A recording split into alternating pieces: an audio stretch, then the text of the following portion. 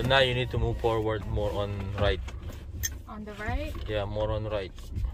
Let's do this. Dikit mo as as you can.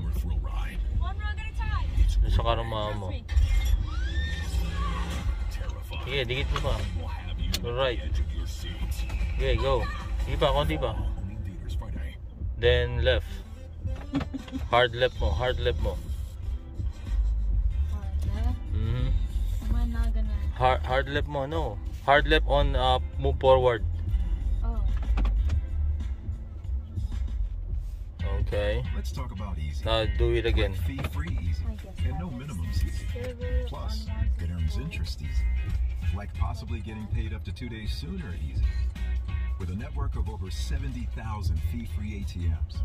And it only Yeah, takes straight. about five minutes to open an account. That is easy. Capital One 360 checking.